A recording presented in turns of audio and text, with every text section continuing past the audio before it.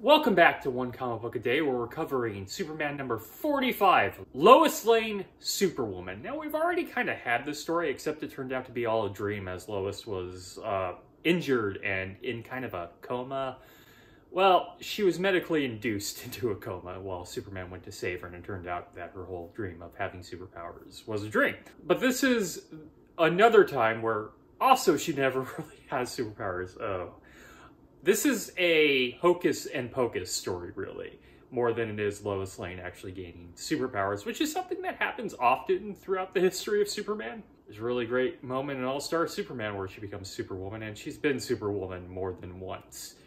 Actually, we should probably keep count of that. This is two, but both these times aren't actually real. So they end up going to see Hocus and Pocus. If you don't remember who Hocus and Pocus are, or if you just started watching these videos, Hocus and Pocus are recurring characters, minor characters in Golden Age Superman who are joke characters.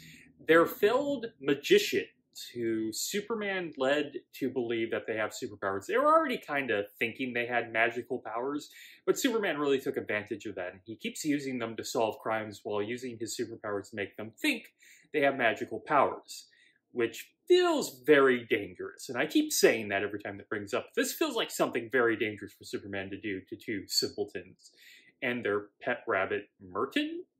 Something like that. So, Hocus, Doc is the name he goes by usually, uh, is the one with the superpowers. He tries to prove he has this by giving Lois Lane superpowers, and Clark has to go with this or else his secret identity might be proven. I don't know. That's there's a very thin strand here for this plot's believability, and we're already dealing with a problem with believability here.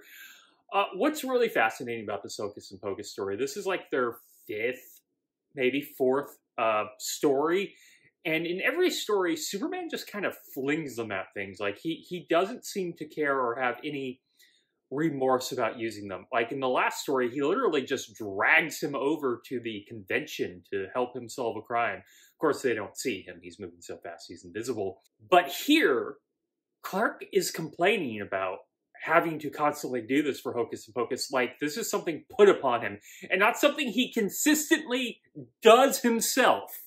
He's had no problem with this until this story. It feels like an entire retcon to his belief of hocus and pocus and why he uses them. So he makes Lois think she has superpowers, and this seems incredibly dangerous for Lois, seeing that she doesn't have superpowers.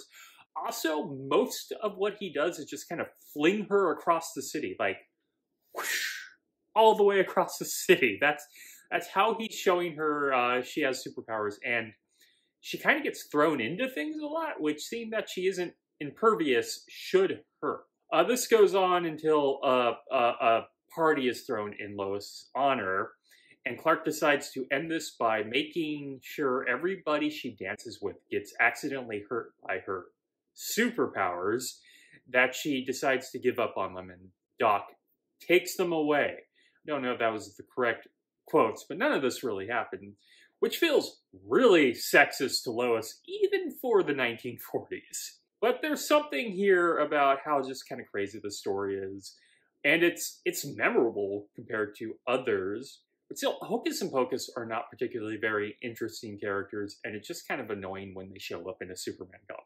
Okay, that is it from Superman number 45 in the first story, Lois Lane Superwoman. This will not be the last time we see this.